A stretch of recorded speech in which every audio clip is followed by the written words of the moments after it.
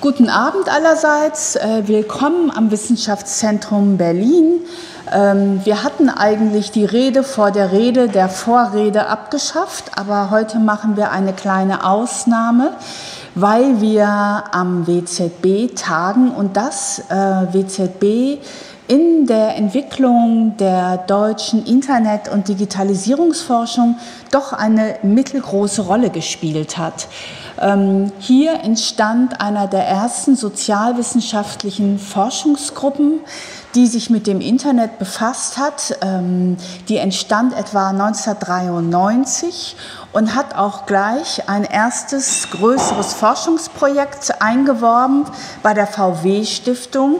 Das hieß Kulturraum Internet und hat diesen damals unbekannten digitalen Raum aus ethnografischer Perspektive untersucht. Ähm, ich war ein Mitglied dieser Gruppe und gehörte zu den ersten hier, die sich mit dem Internet befassten. Ähm, gerne erzähle ich die Geschichte, wie ich ganze Nächte hier verbrachte um äh, mich mit den verschiedenen äh, Kommunikationsdiensten, die es gab, auseinanderzusetzen. Ähm, beliebt war etwa das Spiel Pong. Äh, das lief über einen Server in Boston und da haben wir über den Flur so eine Art Tischtennis gespielt und auf diese Weise die Schnelligkeit der Datenübertragung kennengelernt und waren sehr fasziniert davon, auch deshalb, weil wir uns nicht die Mühe gemacht haben zu überlegen, wie schnell die Übertragung von Voice übers Telefonnetz ging. Also wir waren voll gefangen in dem, was man heute den Internet-Exzeptionalismus äh, nennt, nämlich die Vorstellung, dass mit dem Internet alles anders ist und das Internet auch als Infrastruktur sich komplett unterscheidet von allen anderen Infrastrukturen. So viel zu der Vorgeschichte. Hier war also eine der der Wiegen der deutschen Internetforschung ähm, im sozialwissenschaftlichen Bereich. Und deshalb bin ich ganz froh, dass es uns gelungen ist, diesen Raum heute bereitzustellen für die Redenreihe, die ja sehr viele Jahre später, nämlich über 20 Jahre später, äh, aufgesetzt worden ist. Alles Weitere überlasse ich jetzt Tobi Müller, der ähm, unsere heutige Rednerin vorstellen wird.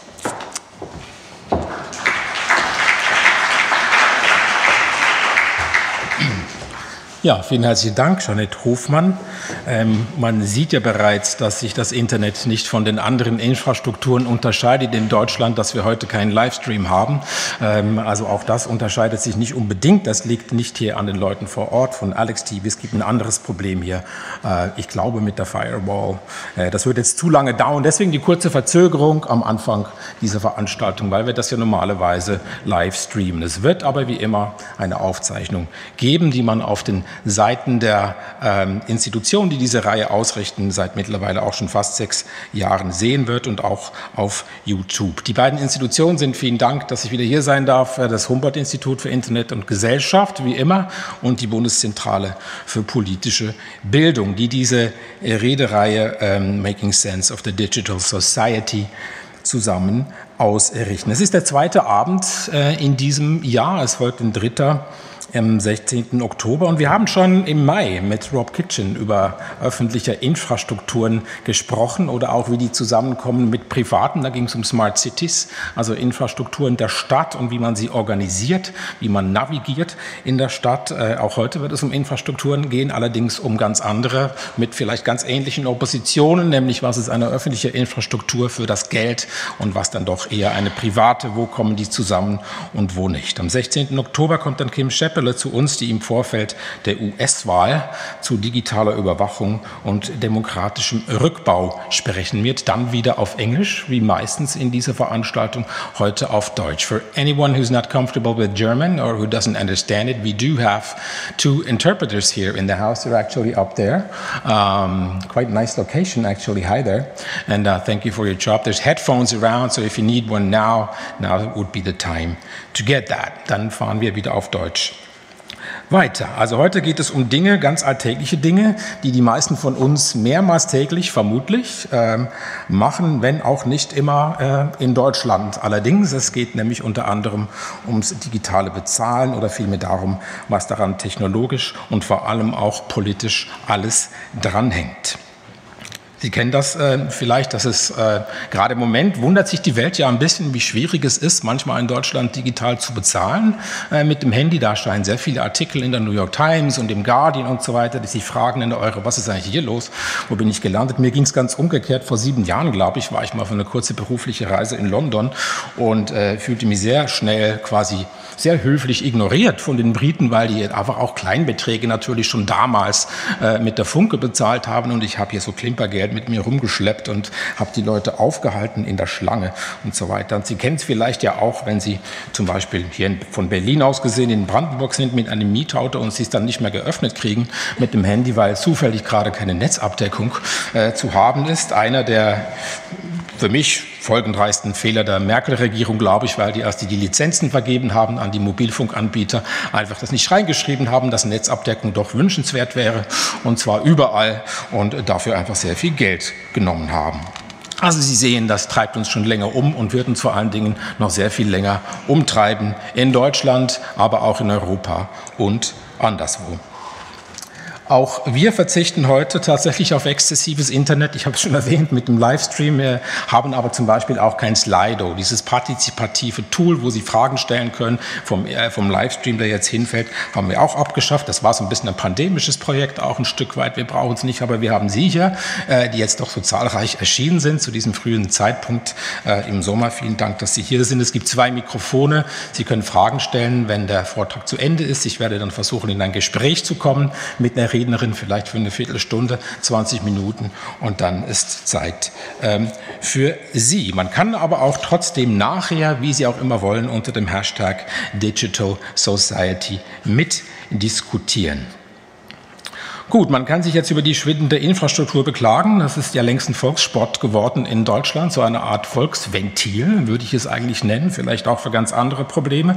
Oder wir könnten auch, wie so oft in dieser Reihe, hier differenziert draufschauen, was digitale Systeme grundsätzlich ändern. Und zwar nebst ihrer meistens unbestreitbaren Usability, also wie viel angenehmer äh, machen diese Systeme tatsächlich meistens das, an, äh, das alltägliche Leben und wie niederschwellig sind sie, um daran teilzunehmen zu nehmen. Es wird aber heute eher darum gehen, welche Machtverhältnisse und auch welche Machtverschiebungen in den neuen oder angekündigten Technologien des Geldes stecken in ihre Trägermedien, in ihren Institutionen und Kontrollorganen sowie den kommerziellen Firmen, die den Geldverkehr noch immer größtenteils regeln, die nicht europäisch sind, wie viele von Sie wissen, zumindest die meisten nicht. Aber heute geht es ja eben nicht nur um PayPal oder Apple Pie, äh, Apple Pay, Entschuldigung, nicht der Kuchen. Ich habe schon ein bisschen Hunger. Es gibt dann ein paar Häppchen nach der Veranstaltung tatsächlich für alle, äh, die hier bei uns bleiben. Es geht eben auch um neue Projekte, die in die Zukunft weisen, wie den digitalen Euro.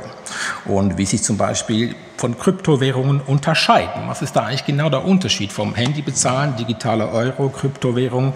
Das schwert für manche so ein bisschen rum. Es gibt aber sehr klare Unterschiede, aber auch ein paar Gemeinsamkeiten. Also wo beginnt quasi eine europäische Souveränität, ein souveränes Vorhaben und wo schleicht sich da auch eine neue Rolle der Zentralbanken rein, gerade auch der EZB in Frankfurt. Sie kennen dieses Gebäude am Main, sehr hoch aufgeschossen, sehr, ähm, ich finde fast ein bisschen furchteinflößend, alle, wenn man da draußen vorbei joggt, vielleicht sehr schön in Frankfurt ähm, und wo da eben dann neue Machtverschiebungen, Machtgefüge äh, entstehen. Das sind nur ein paar Fragen, die unser Gast heute klarer formulieren wird, als es mir hier möglich ist in dieser kurzen Einführung, um Ihre Neugier zu wecken und Sie für 90 Minuten vom Fußball abzulenken und von allem, wovon uns der Fußball wiederum auch ablenkt. Allerdings für uns spricht, dass heute gar kein Fußball gespielt wird. Da geht es nämlich erst am Freitag weiter mit der deutschen Mannschaft. Unsere Rednerin heute ist, ich bleibe beim Fußball quasi ausgeliehen, wie man sagt, im Club Fußball von der Justus Liebig Universität in Gießen an die Technische Universität in Darmstadt. Dort ist sie derzeit Fellow am Institut für Soziologie der TU Darmstadt, unterstützt vom Young Investigator Programm des Zentrums Verantwortungsbewusste Digitalisierung. Sie leitet Forschungsprojekte zu Finanzinfrastrukturen äh, und geoökonomischer Sicherheit und zu Geld als Datenträger. Von beiden Dingen werden wir heute ausschnittweise etwas hören. Mit zwei Kolleginnen aus, sagt man Groningen auf Deutsch oder Groningen, ähm, wäre dann das Niederländische quasi. Mit zwei Kolleginnen aus Groningen und Frankfurt hat sie gerade oder gibt sie gerade ein Handbook on Global Financial Infrastructures heraus, das noch dieses Jahr, wenn ich richtig orientiert bin, erwartet wird bei Cambridge University Press. Alles weitere oder fast alles weitere erfahren Sie jetzt, aber aus erster Hand. Herzlich willkommen, Carola Westermeier.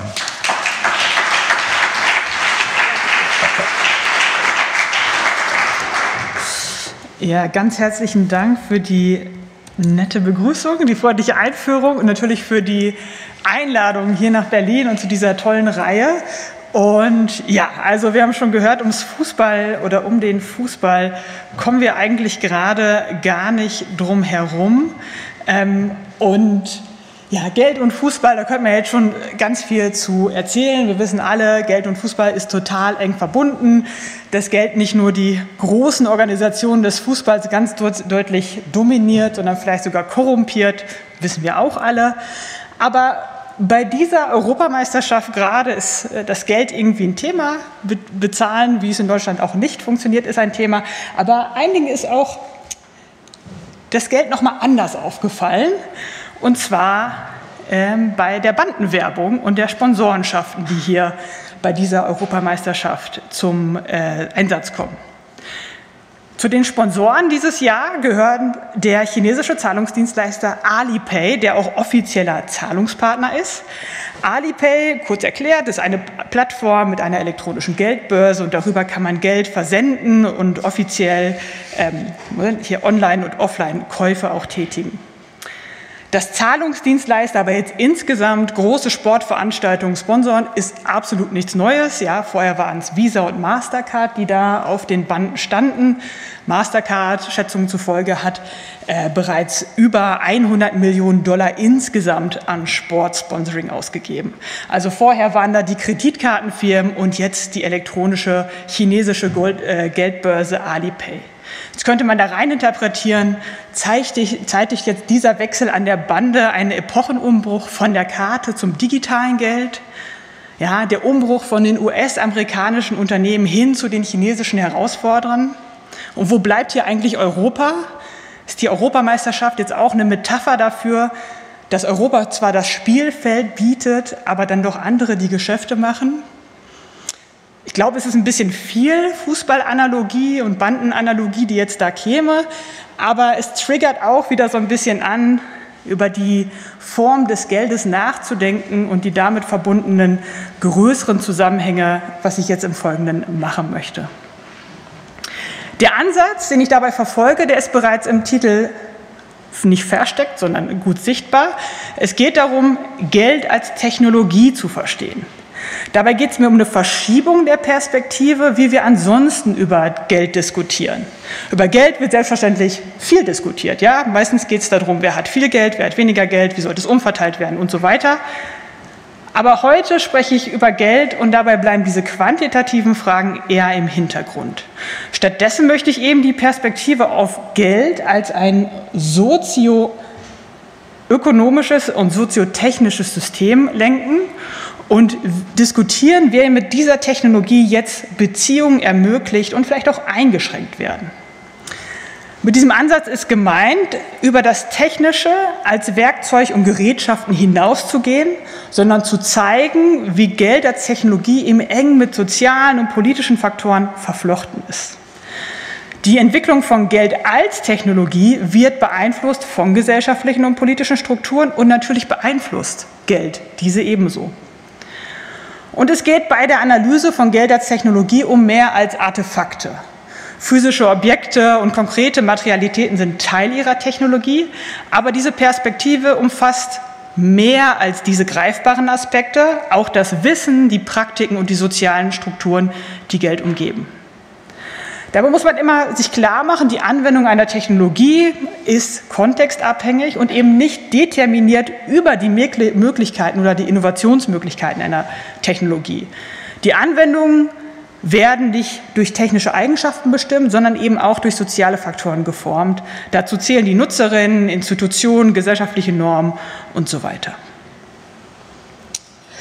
Ich möchte im Folgenden zwei unterschiedliche, aber miteinander verbundene Kontexte in den Blick nehmen, anhand derer ich zeige, wie Geld als Technologie soziale und politische Beziehungen prägt.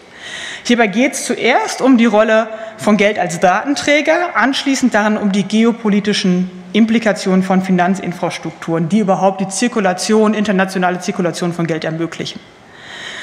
Dann möchte ich den Blick auf eine Form des Geldes lenken, die derzeit im Entstehen ist. Digitale Zentralbankwährungen und im Spezifischen den digitalen Euro. Steigen wir ein mit Geld als Datenträger. Eingangs habe ich schon Alipay erwähnt, das zwar bisher in Europa kaum verwendet wird, zumeist wenn dann von asiatischen Touristinnen im Frankfurter Flughafen oder am Flughafen, da sehen wir das Zeichen schon mal öfters. Ähm, aber in Deutschland ist es eigentlich eher das US-amerikanische Pendant, nicht Pendant, ein bisschen was anderes, PayPal bekannt, äh, das sich vor allem bei Online-Zahlungen inzwischen sehr durchgesetzt hat. PayPal hat zuletzt eine interessante Ankündigung gemacht. Ende Mai kündigte das Unternehmen an, seine Kundendaten für den Ausbau seines Werbegeschäftes zu nutzen. Dabei will das Unternehmen auf die Daten seiner Bestandskunden ähm, zurückgreifen und das wohlgemerkt muss man sagen, das ist jetzt natürlich kein besonders neuer Gedanke, sondern es geht eigentlich eher um eine Ausweitung dessen, was das Unternehmen ohnehin schon macht. Bereits jetzt teilt das Unternehmen die Daten seiner Kundinnen mit ungefähr 1000 anderen Unternehmen. Daran haben wir uns eigentlich schon ziemlich gewöhnt, dass unsere Daten, wenn wir online uns bewegen, von Online-Diensten gesammelt werden. Unternehmen folgen dem Data Imperative, so nennen es die Soziologin Foucault und Healy, also der Logik, dass man Daten erstmal sammeln sollte, in der Annahme, dass die Monetarisierung oder irgendeine Nutzung schon folgen werde. Auch bei Zahlungsdaten ist es nicht anders. Allerdings will ich kurz auf einen qualitativen Unterschied bei den Daten hinweisen, die jetzt hier mit Transaktionsdaten gesammelt werden. Transaktionsdaten werden als besonders wertvoll markiert und das weiß eben auch PayPal, da sie zahlreiche Schlussfolgerungen über das persönliche Leben und das tatsächliche Verhalten von Individuen ermöglichen. Typischerweise umfasst eine Transaktion und die Transaktionsdaten dazu einen, Zeitstempel, Ortsdaten, Kontodetails der Begünstigten und eine Beschreibung des Kaufs und auch den Betrag, aber eben auch den Betrag und nicht nur.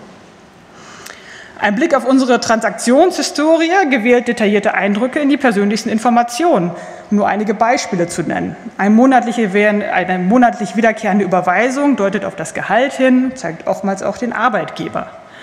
Zahlungen an öffentliche Einrichtungen enthalten oft Sozialversicherungs- oder Steueridentifikationsnummern. Bestimmte Ausgabengewohnheiten zeigen relevante Verbindungen, beispielsweise zu bestimmten politischen oder religiösen Organisationen. Und medizinische Ausgaben können auch sensible Informationen über die jeweiligen Krankheiten enthalten. Rundum Transaktionsdaten sind aussagekräftiger als viele der Social-Media-Daten, die wir hinterlassen. Ob ich einen Post einer politischen Organisation mit einem Like markiere oder ob ich diese Organisation regelmäßig mit Spenden unterstütze, ist ein wichtiger qualitativer Unterschied.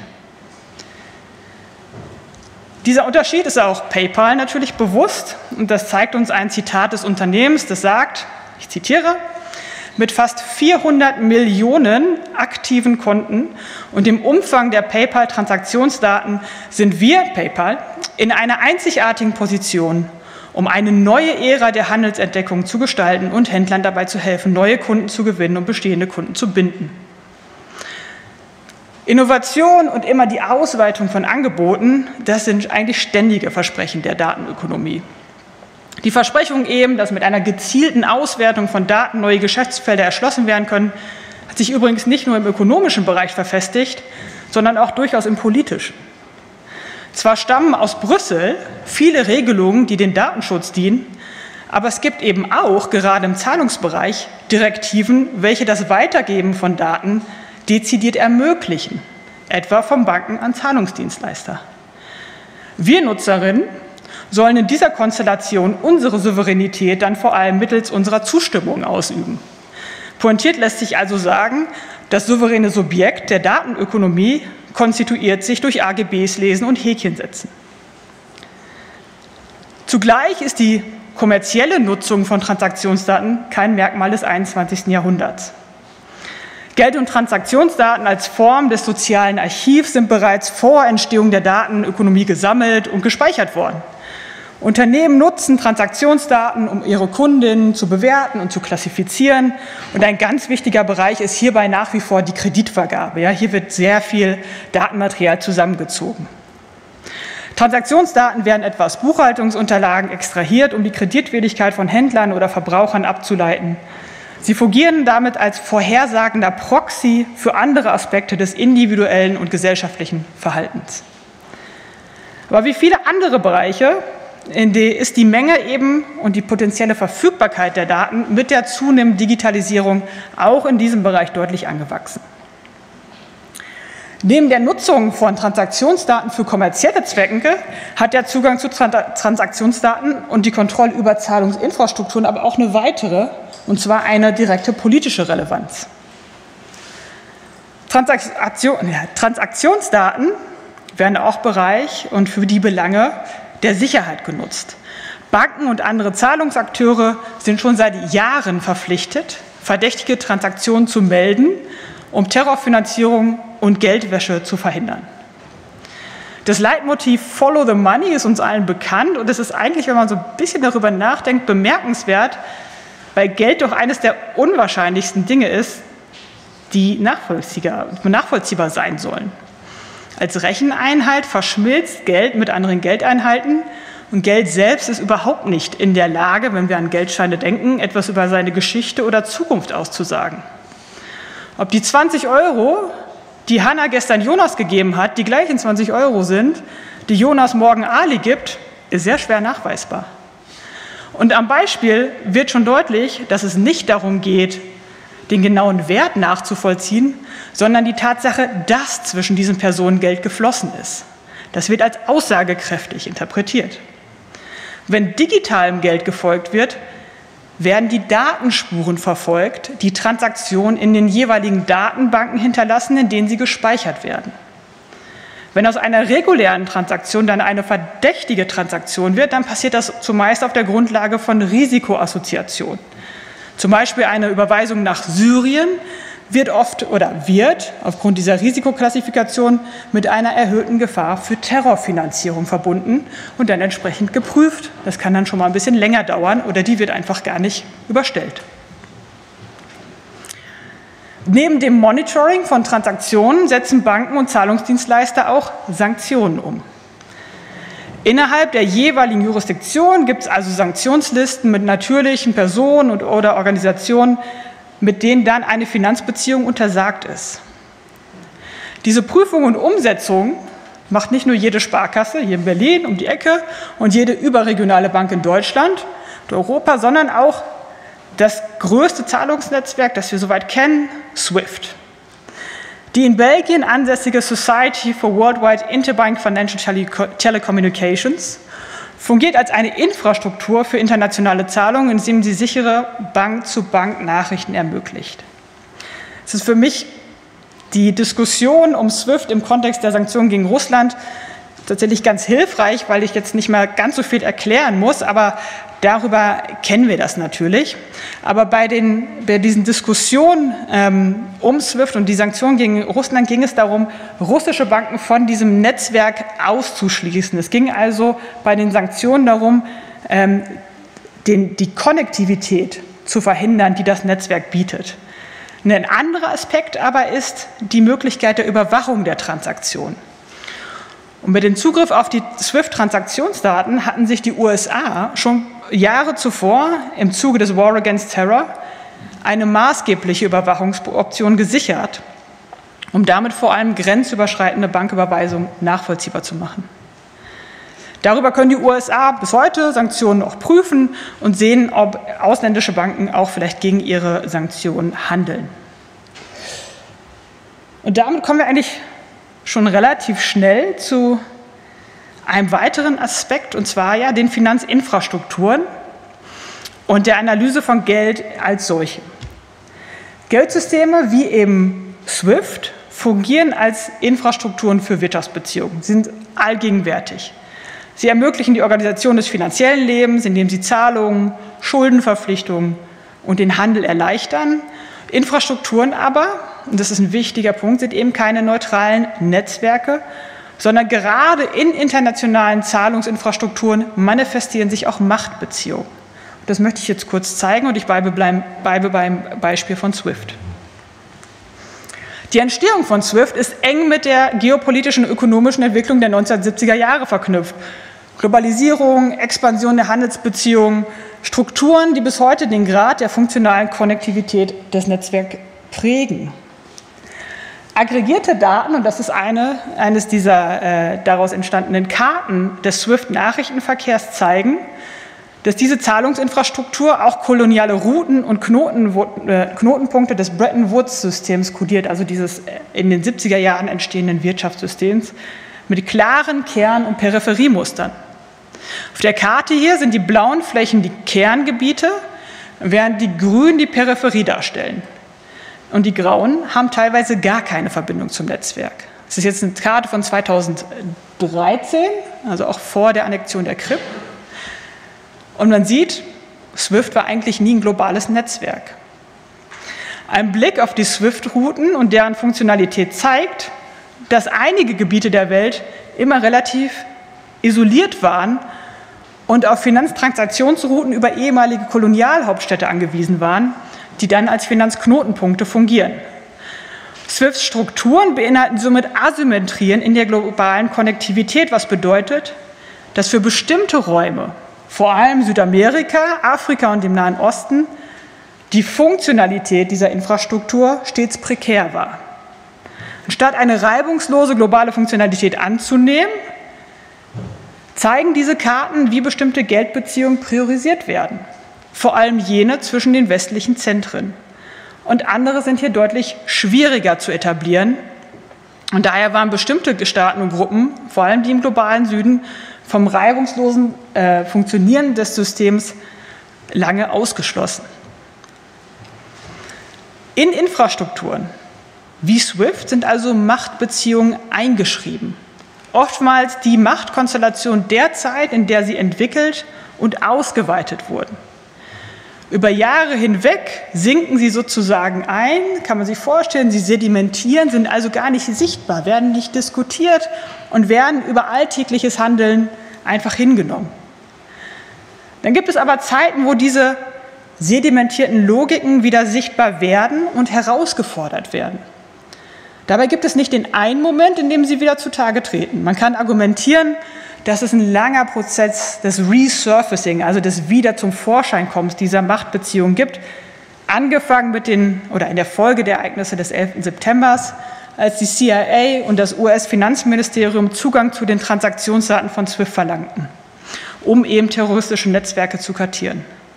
Und sicherlich haben die, hat das zunehmende Ansetzen von Finanzsanktionen etwa auch die Abkopplung des Irans von dem Netzwerk dazu beigetragen, dass das Netzwerk nicht nur von Widersachern der USA als vor allem politisches Netzwerk wahrgenommen wurde.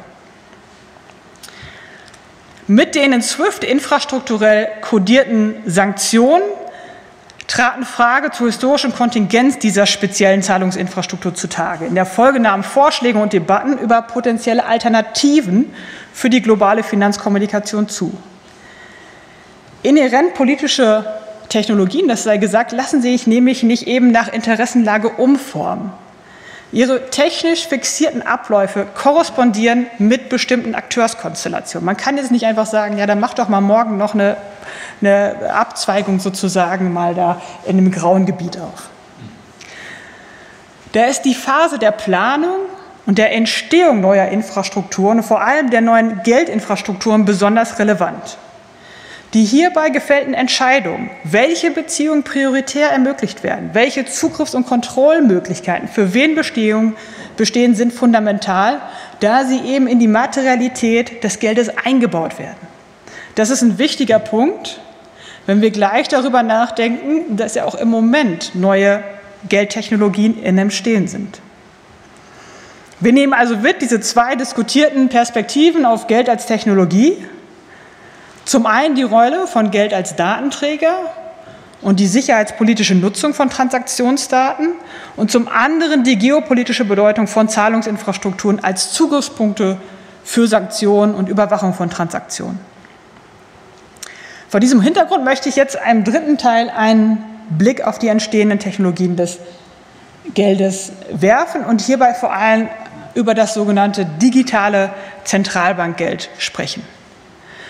Der wichtigste Unterschied hierbei zu dem, was ich vorher diskutiert habe, ist, dass es hier einen öffentlichen Akteur gibt, also die Zentralbanken, die diese Technologie entwickeln und vorantreiben. Vorher waren es private Akteure, Alipay, Swift und so weiter, alles private Unternehmen oder ähm, Swift ist ein Zusammenschluss von Banken. Und damit sind wir eigentlich schon bei einem wichtigen Charakteristikum dieser neuen Geldtechnologie, wenn wir darüber nachdenken, was ist eigentlich digitales Zentralbankgeld? Müssen wir kurz mal uns einer Sache bewusst werden, die wir im Alltag, wenn wir mit Geld umgehen, uns äh, völlig ja, unbewusst einfach passiert, und zwar, dass wir mit zwei Formen von Geld hantieren. Auf der einen Seite Zentralbankgeld, eine Verpflichtung der Zentralbank und das Geld, das Bargeld, bei dem die Zentralbank selbst den Wert garantiert. Aber dieses Zentralbankgeld haben wir als Bürgerinnen und Bürger nur in Form von Bargeld. Der anderen Seite, alles digitale Geld ist privates Geld oder Giralgeld oftmals in der Form von Giralgeld. Eben Geld, das zumeist Einlagen sind bei Banken, das aber erstmal ein Kontrakt zwischen uns und der Bank ist. Das heißt, es ist sozusagen auch ein Rest Unsicherheit. Banken können insolvent gehen. Natürlich gibt es in Europa auch die Einlagensicherung. Da sieht man schon, es gibt auch eine enge öffentlich-private Sicherung hier aber es ist erstmal eine andere Form von Geld. mit dem digitalen Zentralbankgeld passiert jetzt das Folgende, und zwar, dass wir das Charakteristikum des Zentralbankgeldes nehmen, also das Geld, das sicherste Geld, das wir kennen, direkt von der Zentralbank, und es auf eine digitale Infrastruktur bringen und damit digital zirkulierbar machen. Und jetzt ist es aber auch gar nicht nur eine Form sozusagen, wie wir es haben, sondern digitales Zentralbankgeld kommt in verschiedenen Formen. Also es gibt, das werde ich gleich diskutieren, Retail, digitales Zentralbankgeld, das ist etwas, was wir im Alltag nutzen können. Es gibt eine Wholesale-Variante, das ist was zwischen Banken. Und es gibt auch grenzüberschreitendes digitales Zentralbankgeld, das dann ähm, die Interaktion zwischen Staaten äh, vor allem ähm, ermöglichen soll. Also zwischen Staaten und vor allem zwischen grenzüberschreitend zwischen Banken. Jetzt zeige ich Ihnen wieder eine Karte, die ist jetzt ein bisschen bunt und die zeigt uns die Länder auf der Welt, die sich mit dem Thema digitalem Zentralbankgeld überhaupt befassen. Sie sehen, das sind jetzt verschiedene äh, Farben, weil einige Länder erstmal darüber nachdenken, Research machen. Dann gibt es einige Länder, die sind schon weiter, die haben schon Konzepte, die haben schon Piloten, so verschiedene Stadien der Entwicklung. Aber insgesamt sind es halt inzwischen schon über 130 Länder, die sich überhaupt mit dem Thema beschäftigen. Und vor fünf Jahren wäre diese Karte auch ziemlich grau gewesen. Vor fünf Jahren war das noch gar kein Thema, obwohl vor fünf Jahren die Technologie verfügbar gewesen war. Was war passiert?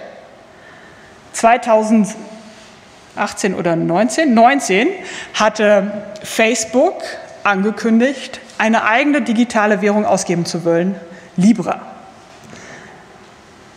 Das Ganze wurde dann weiter diskutiert, wurde auch dann sozusagen regulatorisch in einer Art und Weise beeinflusst, dass es dann nicht mehr fortgeführt wurde. Aber diese Ankündigung eines großen internationalen Technologieplayers war für die Zentralbanken und auch Finanzministerien wirklich ein Weckruf oder ein Auslöser, sich mit dem Thema digitale Währung überhaupt zu beschäftigen.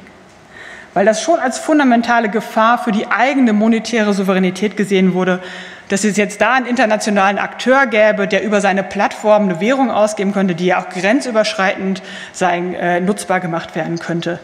Das war schon eine ernstzunehmende Gefahr und wurde auch als solche diskutiert. Und daraufhin hat dieses Thema an Fahrt gewonnen. Wie gesagt, die Technologie war vorher schon da. Aber jetzt kam noch mal dieser Moment, wo man äh, sagte, man sollte sich vielleicht mal mit dieser Überlegung beschäftigen. Ein Punkt zu den Kryptowährungen, weil das immer so ein, ist das jetzt eine Kryptowährung? Ist es nicht. Wir haben es gehört, Hierhinter steht die Zentralbank, das heißt, der Wert des Geldes ist auch garantiert durch die Zentralbank, während bei einer Kryptowährung, man könnte sagen, niemand dahinter stehen, andere würden sagen, die Technologie steht für sich, aber es ist eine Technologie der digitalen Zentralbankwährung, die durchaus Anleihen macht an die Technologie der Kryptowährung, was ein bisschen ironisch ist, weil Kryptowährungen ja gestartet sind, gerade um das etablierte Geldsystem herauszufordern. Und jetzt kommen die etabliertesten Player und sagen, ah, das ist ja interessant, vielleicht machen wir das auch, aber anders. Also es ist nicht auch, sondern es gibt zum Beispiel Überlegungen, ob man die Blockchain nutzt für gewisse Formen dieser digitalen Zentralbankwährung. Ja, also Facebooks Ankündigung war also der Startpunkt, aber trotzdem sind die Motivationen in diesen Ländern wirklich auch sehr unterschiedlich. Es gibt nicht die eine Motivation, die alle vereint sondern wir haben vor allem des, Länder des sogenannten globalen Südens, die die Technologie überlegen einzuführen aus Gründen der finanziellen Inklusion. Teile der Bevölkerung haben gar keinen Zugang zum Bankensystem und sollen hierüber einfach über das Smartphone angebunden werden. Dann geht es auch darum, effizientere, grenzüberschreitende Zahlungssysteme einzuführen. Das ist vor allem für Länder wichtig, die ähm, von Remittances oftmals abhängen, also den Zahlungen von ausländischen Staatsbürgern äh, zurück an die Länder, die oftmals teuer sind und langsam sind. Und da ähm, ist ja schon lange bekannt, dass internationale Überweisungen deutlich besser laufen könnten und günstiger sein könnten. Da wäre auch die Technologie eine Möglichkeit. Und, und da sind wir eigentlich auch schon in der Europäischen ähm, Union, die Technologie könnte ein Ansatzpunkt für eine weitergewonnene Kontrolle über Zahlungsinfrastrukturen bringen. Und damit sind wir in Europa und beim digitalen Euro. Die Europäische Zentralbank beschäftigt sich seit 2020 etwa, schon ein bisschen vorher mit dem Thema, im Oktober letzten Jahres haben sie dann den Übergang von einer Untersuchungsphase in eine Vorbereitungsphase ähm, verlautbaren lassen. Hier die Pressemeldung dazu. Und hier geht es, wenn ich darüber jetzt rede, über den digitalen Euro, geht es um eine sogenannte Retail-Variante, also das, was wir im Alltag dann nutzen können, äh, sollen können ähm, für alltägliche Zahlungen. Und auch hier ist es eine Bedrohungswahrnehmung, die eigentlich auch mit ähm, zu diesem Schritt geführt hat. Denn in Europa, das wird auch vorhin angedeutet, sind wir sehr abhängig von nicht-europäischen Zahlungsakteuren. Dabei geht es aber vor allem um Visa, um Mastercard, die vor allem auch im grenzüberschreitenden, aber innereuropäischen Zahlungsverkehr absolut dominant sind. Wenn Sie Ihren Sommerurlaub ge gebucht haben, haben Sie das mit sehr hoher Wahrscheinlichkeit mit einer dieser beiden Karten getan. PayPal holt im Online-Bereich auf. Das sind aber auch schon Entwicklungen, die wir auch schon ein bisschen länger kennen die einfach da sind. Das Ganze nahm während der Trump-Präsidentschaft an Fahrt auf das Thema, dass man jetzt sagte, oh, diese Abhängigkeit von amerikanischen Zahlungsdienstleistern, das ist was, was wir angehen sollten. Dann gab es 2020 eine Retail Payment Strategy, in der die Europäische Kommission eben feststellte, once relegated to the back office, payments have become strategically significant. They are the lifeblood of the European economy. Also früher war das ein absolutes Thema, was unter ferner Liefen technisch äh, ähm, überhaupt, wenn dann überhaupt so abgehandelt wurde und überhaupt nicht als signifikant wahrgenommen wurde. Und jetzt ist es High Politics sozusagen. Das war 2020 und das Ganze hat nochmal ein bisschen Fahrt aufgenommen und sicherlich nochmal ähm, an Dramatik auch gewonnen nach dem Überfall Russlands auf die Ukraine. Und hier Christine Lagarde, die auch in ihren Äußerungen, da kann man so ein bisschen der Entwicklung auch sehen, immer ein bisschen dringender und warnender geworden ist und hier 2023 in einem Gespräch sagt, When you look at your wallet and you look at your telephone and see the applications that you use for payments, for the cards you use for payment, you very soon realize that those means of payments are not necessarily European.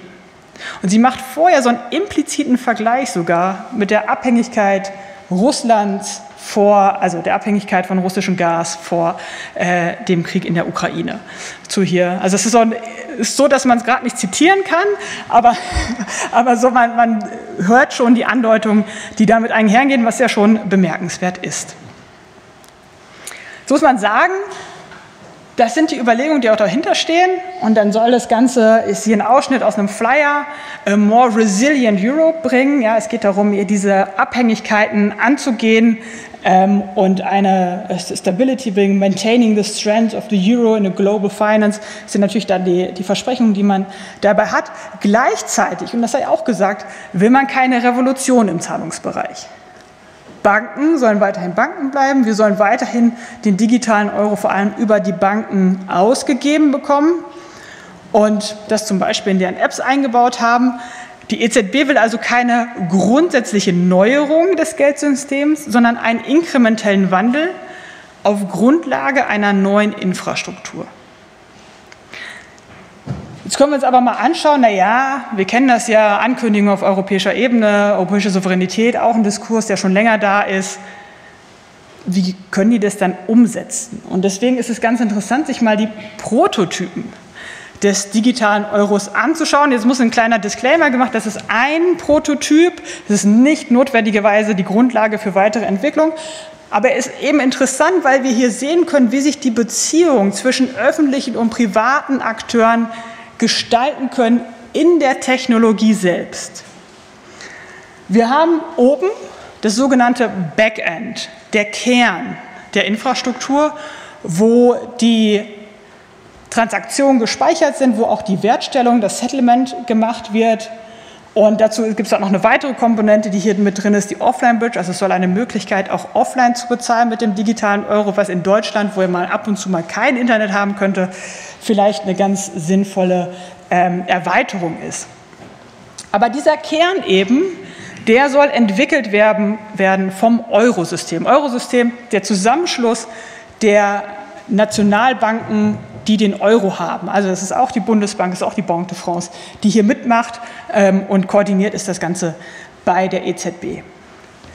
Das heißt jetzt aber nicht, dass die EZB äh, sozusagen hunderte von äh, Entwicklern und Techies einstellen würde, sondern diese einzelnen Komponenten oder einzelne Komponenten dafür, wie zum Beispiel diese Offline-Bridge, wird von privaten Unternehmen entwickelt und da gab es Anfang des Jahres eine Ausschreibung oder mehrere Ausschreibungen für verschiedene Komponenten, die in diesen Kern integriert werden sollten.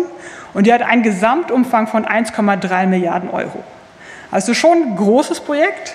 Und darum ist jetzt gerade noch das, das, das Vergabeverfahren, äh, wo sich eben Firmen äh, darauf bewerben können.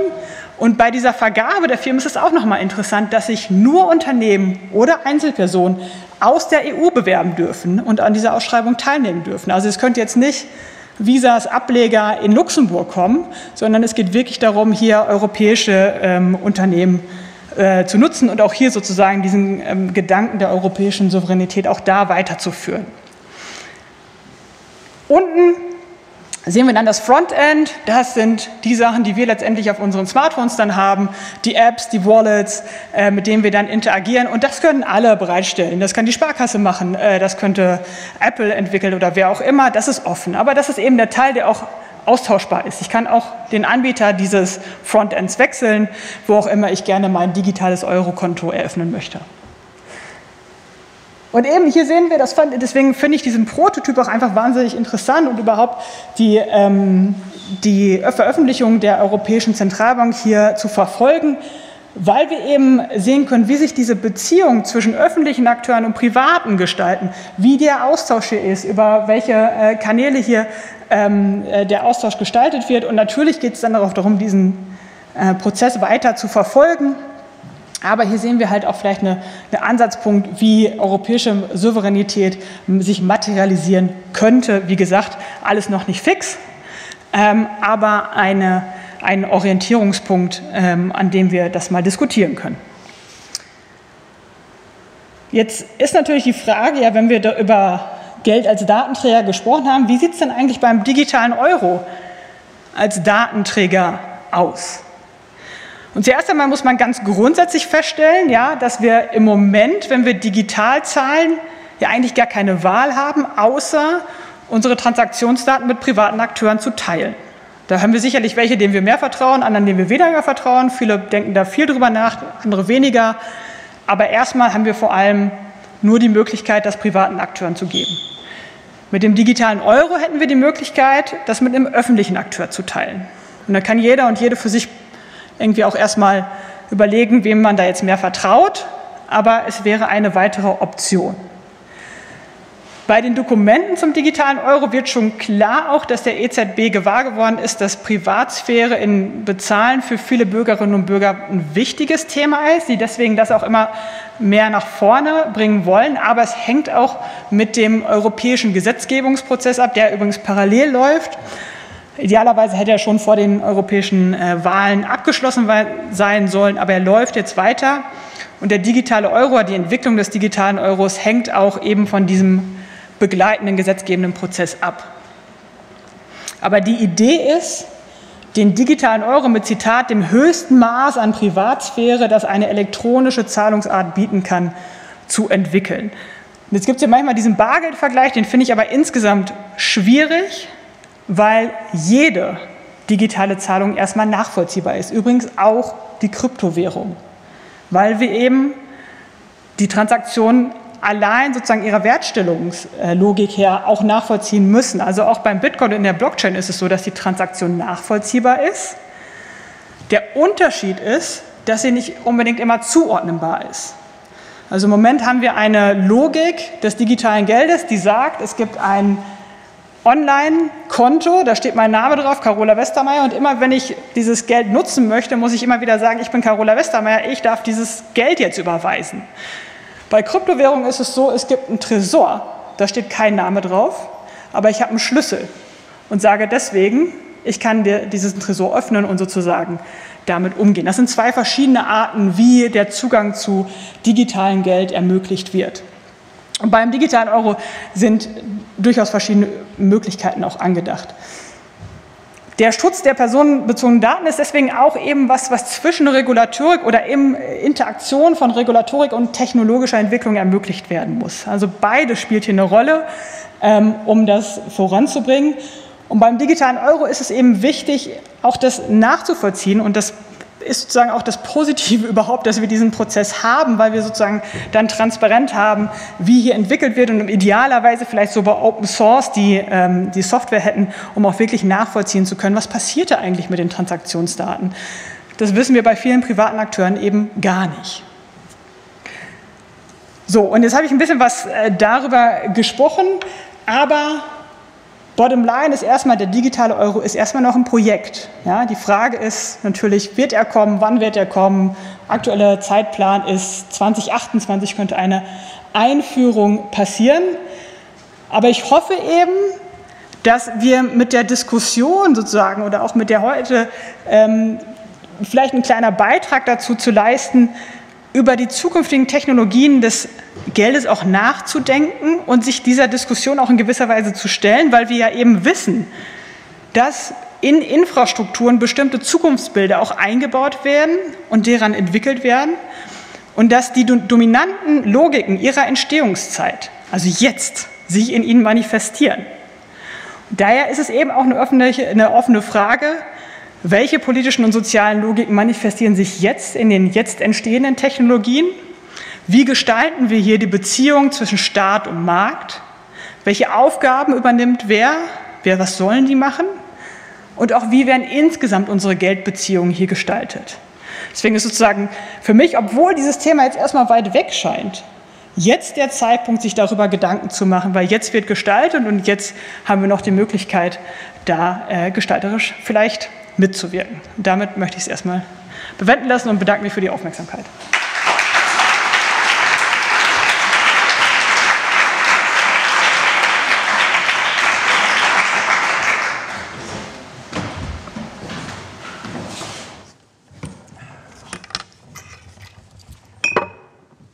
Herzlichen Dank, Carola Westermeier, für diesen Vortrag. Es ist, äh, passiert nicht immer, dass ich mich danach klüger finde und ich weiß jetzt nicht, ob das trügerisch ist ähm, oder nicht. Wir werden es gleich rausfinden ähm, in der Diskussion zusammen. Ich versuche erstmal ein paar Fäden aufzunehmen ähm, vom Vortrag, bevor wir dann wirklich noch in die Zukunft gucken. Äh, vielleicht tatsächlich, was zu tun ist, welche Logiken hier tatsächlich gerade dominant sind, eingebaut werden, wie wir sie vielleicht auch verändern können. Aber ich nehme nochmal ein Beispiel, was Sie anhand äh, vom SWIFT-System äh, gebracht habe und versuche das abzugleichen, was da der digitale Euro ändern könnte. Sie haben zwei Beispiele, glaube ich, gebracht, oder? Das eine ist Russland, was aus SWIFT rausgeworfen wurde, um die Sanktionen quasi damit durchzusetzen. Also ein machtpolitisches Instrument, ganz klar. Das andere ist, wo es dann ein bisschen mehr Friktion gab im transatlantischen Verhältnis zwischen den USA und Europa, war Iran. Also als äh, Trump den Atomdeal aufgekündigt hat, äh, natürlich ähm, wollten sie natürlich auch über SWIFT oder wäre es möglich gewesen, über SWIFT zu kontrollieren, wer macht jetzt eben trotzdem noch Geschäfte mit Iran, zum Beispiel Europa, äh, zum Beispiel Deutschland. Und das war dann tatsächlich ein Problem. Also wie machen wir das jetzt?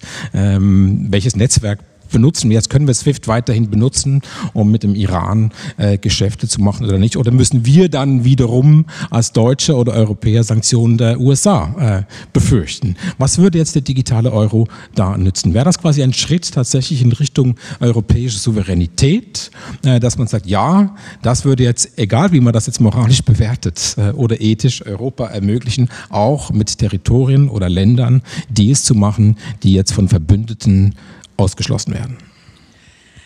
Genau, ja, vielen Dank, dass Sie äh, nochmal dieses Beispiel sozusagen, das europäische Beispiel mitgebracht haben, ähm, als die Europäer sich in einer Situation fanden, dass sie eigentlich gerne mit dem Iran, nachdem sich Trump aus dem Atomabkommen zurückgezogen hat, eigentlich gerne mit dem Iran Handel treiben wollten, aber mhm. das nicht konnten, mhm. weil sie eben nur über SWIFT da diesen Handel abwickeln hätten können. Und viele Banken dann gesagt haben, nee, nee, also da sehen ja die USA, dass wir Handel machen und wir haben Angst davor, Unternehmen haben Angst davor, von den USA sanktioniert zu werden. Und diese Erfahrung der Europäerinnen und Europäer, dass sie politisch eigentlich Handel treiben wollten, aber keine Möglichkeit, keine Infrastruktur hatten, ihr politisches Versprechen aufrechtzuerhalten, das war, glaube ich, schon ein wichtiges. Also das ist sozusagen eine Erfahrung, die Europa da gemacht hat. Hm, wir können uns zwar einiges vornehmen, aber wenn wir keine Infrastruktur haben, das zu ermöglichen, dann haben wir ein Problem. Ich glaube, diese Einsicht ist da schon gerade in Brüssel und äh, ist schon sehr, sehr eingesickert. Das lässt sich jetzt nicht ganz direkt auf den digitalen Euro übertragen, weil der digitale Euro jetzt erstmal nur für innereuropäische Handlungen äh, entwickelt wird. Perspektivisch ist auch angedacht, da grenzüberschreitend mit zu interagieren. Aber diese, trotzdem ist die Überlegung gewesen, in diese Abhängigkeit, dass es in Washington jemanden geben könnte, der sagt, nee, diese Art von Wirtschaftsbeziehungen möchte ich nicht, möchte ich verunmöglichen durch Sanktionen, durch gezielte Sanktionen. Das muss ja kein ganzes Abkoppeln eines Landes sein. Das ja. können politische Sanktionen ja. sein, die bestimmte Gruppen treffen. Ja sich nicht mehr in dieser Abhängigkeit zu befinden. Das ist, glaube ich, eine Lektion gewesen, die man aus dieser ähm, Episode rausgezogen hat und die man jetzt erstmal mit dem digitalen Euro für Europa angeht, mhm. um da sozusagen die Gefahr eines äußeren Eingriffes abzuwehren. Ja. Sie haben es ja auch erwähnt in Ihrem Vortrag, die Technologie ist schon lange da die Blockchain sowieso, wo man noch nicht genau weiß, welche Rolle die Blockchain tatsächlich spielen wird oder soll im digitalen Euro. Und Sie haben gesagt, naja, es war, oder haben Sie es anderswo auch schon mal gesagt, dass ähm, der entscheidende Mm, Impuls für die EZB oder für Europa über eine digitale Währung nachzudenken, sei eigentlich weniger Krypto gewesen, sondern äh, Libra oder dann Diem, ne? also die Währung von Facebook, die ja dann quasi regulatorisch verhindert wurde. Äh, aber das hat quasi, das war der Tipping Point für Europa zu sagen, wir gehen daran.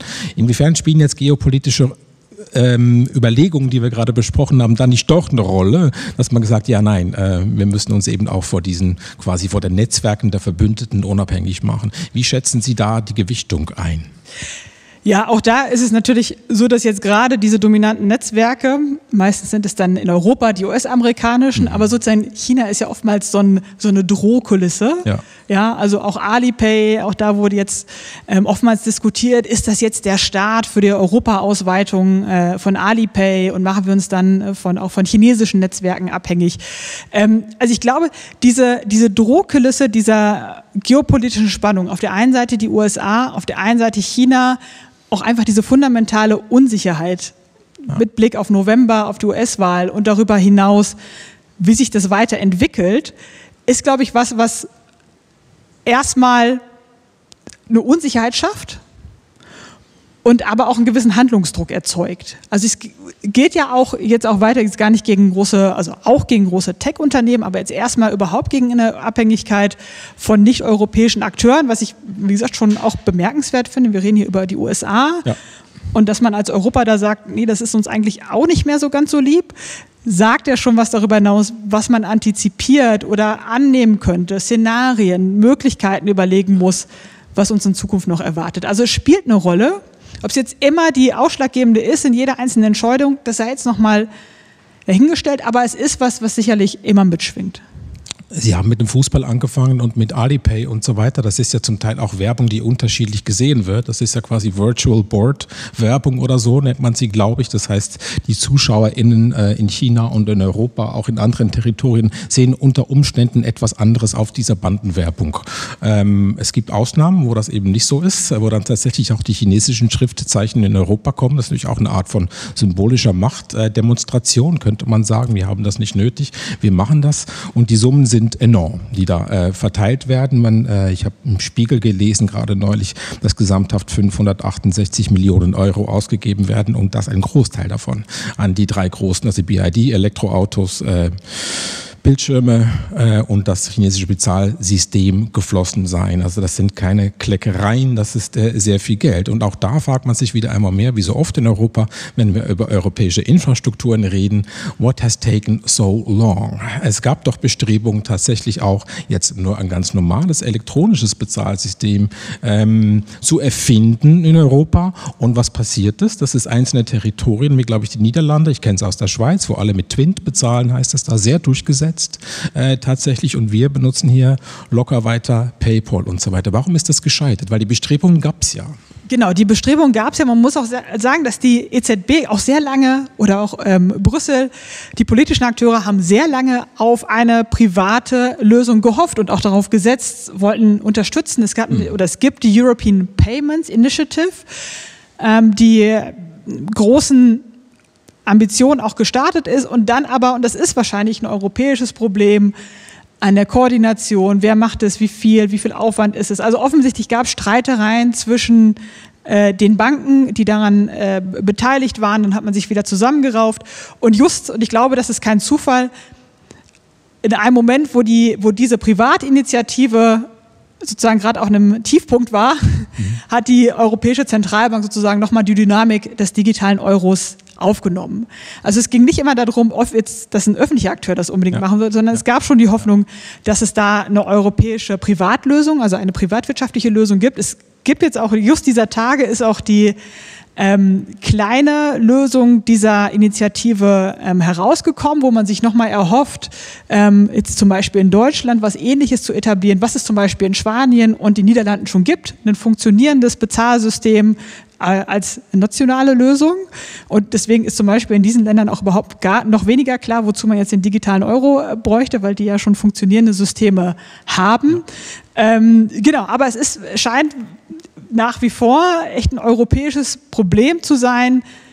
Erstmal, dass man sich innerhalb der Nationalstaaten und dann nochmal darüber hinaus auf solche äh, Prozesse und solche Initiativen einigt. Also es gab sie, aber sie sind halt bis jetzt nicht erfolgreich gewesen. Mhm. Ich habe noch eine ganz konkret äh, vielleicht ein bisschen platt politische Frage, bevor ich nochmal zum digitalen Euro kommen möchte. Und zwar das, was Sie über die Transaktionsdaten mhm. erzählt mhm. haben bei PayPal. Das ist ja schon ähm, krasses Data Mining und geht darüber hinaus, was so auf sozialen Medien äh, gemacht wird. Das sind ähm, so richtig fette Metadaten, könnte man sagen, die da quasi verbreitet werden oder eben verkauft, äh, wie man ja auch gesehen hat nach den, was waren das, Mastercard-Leaks oder so, wo ganz viele Daten in Umlauf gelangt sind, äh, die dann plötzlich äh, irgendwo aufgetaucht sind, wo es glaube ich, um Babynahrung äh, ging und noch ein paar unappetitlichere Sachen. Ich habe es jetzt nicht mehr ganz alles auf dem Schirm. Ähm, und Sie haben da PayPal genannt. Mhm. Und ich frage mich da ein bisschen, also wir reden jetzt auch sehr lange hier auch immer wieder über den AI Act, über den Digital Services Act. Das ist alles sehr kompliziert. Das sind sehr komplexe Gesetzgebungen, äh, wo aber Europa trotzdem so ein bisschen als Vorreiter, Vorreiterin angesehen wird weltweit, wie man das jetzt tatsächlich regulieren kann. Wie ist denn das möglich, dass so etwas äh, möglich ist in Europa. Also ich meine, das sind ja auch Firmen, die haben ja auch Sitze hier ähm, in, in, Europa und sie werden auf den europäischen Märkten äh, äh, quasi angeboten und so. Sie müssten doch eigentlich diesem Digital Services Act folgen, der sowas auf gar keinen Fall zulässt. Wie kann es trotzdem geschehen? Ja, ich glaube, ein Rechtswissenschaftler könnte es Ihnen jetzt auch im ja. Detail erklären, ja. warum das möglich ist und dass es schon auch immer die Möglichkeit gibt, auch für Unternehmen, weil es doch noch nach wie vor eine Überzeugung gibt, naja, irgendwie sind diese Daten ja auch schon was Tolles, dass wir diese Möglichkeit haben, sie auszuwerten und man will es den Unternehmen eben ja auch nicht per se verbieten. Das heißt, man mhm. gibt Formen, denen man eben nicht äh, personenbezogene Daten auswertet.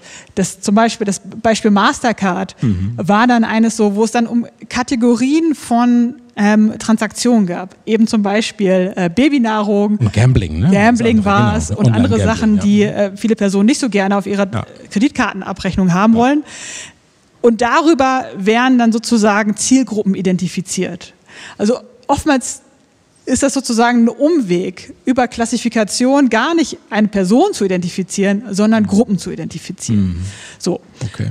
Und das sind Möglichkeiten, wie man dann natürlich die Datenauswertung wiederum machen kann, wie dann auch das Teilen von Daten ermöglicht werden, eben um dieses Personenbezogene äh, rauszunehmen. Aber ich bin keine Datenschutzexpertin. Ich, ja. ne, ich arbeite mit denjenigen zusammen, die sich da sehr, sehr gut auskennen und ich verstehe, it's complicated. Ja. Ähm, und deswegen aber ist meine Warte auch in gewisser Weise, naja, es gibt diese Vorstellung auch, dass wir als Datensubjekte da die Möglichkeit haben, ja unsere Einwilligung zu entziehen. Das ist ja immer sozusagen so ein Punkt. Man könnte ja Nein sagen. Hm. Man kann ja seine Einwilligung rausziehen. Aber faktisch tun wir das ja nicht, weil mhm. wir auch einfach bezahlen wollen. Wir wollen einfach teilnehmen, wir wollen mitmachen. Und diese, diese Souveränität, die da so ein bisschen suggeriert wird, dass wir Opt-out machen können, dass wir sagen können, nee, bitte nicht teilen oder ich stimme jetzt den AGBs nicht zu, hat sich in der Praxis einfach nicht so ganz bewahrheitet. Und ich glaube, da lohnt es sich schon noch mal umzudenken, ob souveräne Datensubjekte letztendlich eben nur noch Häkchen machen oder AGBs ja, lesen müssen, um dann irgendwie da noch eine, die Möglichkeit haben, ihre Daten zu entziehen oder zu ermöglichen. Ja, ja die Terms of Services sind unser Ruin äh, wahrscheinlich. Ähm, Nochmal zurück zum technologischen Aspekt vielleicht des digitalen Euros. Da gibt es ein paar Sachen, die ich noch nicht ganz verstehe, wie auch wahrscheinlich. Es gibt ihn einfach noch nicht und das ist ja auch noch viel auszuhandeln. Äh, da können wir vielleicht später auch noch über Handlungsmacht sprechen, wie das überhaupt möglich ist. Aber zunächst ähm, einmal ist ja einer der großen Unterschiede zu den Kryptowährungen, die Sie ähm, eingeführt haben, wo wir jetzt, was ja immer passiert im Kapitalismus, dass die größten Kritiker quasi integriert werden in das System. Das ist auch keine neue äh, quasi Strategie, wenn man so möchte. Aber es gibt einen sehr großen Unterschied und das ist der Centralized Ledger. Ne? Also es gibt quasi tatsächlich eine zentrale, zentralisierte Datenbank, wo all diese Transaktionen, Sie haben es gesagt, quasi nachzuverfolgen sind. Und die Blockchain lebt ja gerade davon, dass das nicht möglich ist, dass das quasi endlos verteilt wird auf möglichst viele äh, äh Server gleichzeitig und eben nicht auf einen, der dann vielleicht in Frankfurt oder Brüssel oder auch auf den Cayman Islands Intelligenz steht. Das wird man noch sehen.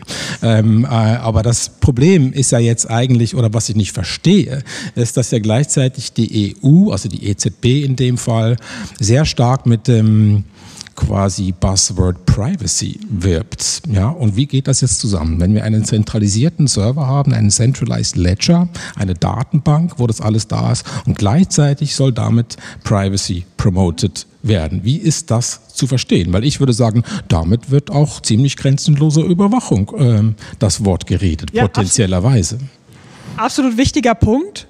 Potenziell ist es genau so. Man könnte alles in einer Datenbank speichern. Man könnte es auch mit Klarnamen speichern und alles nachvollziehbar machen.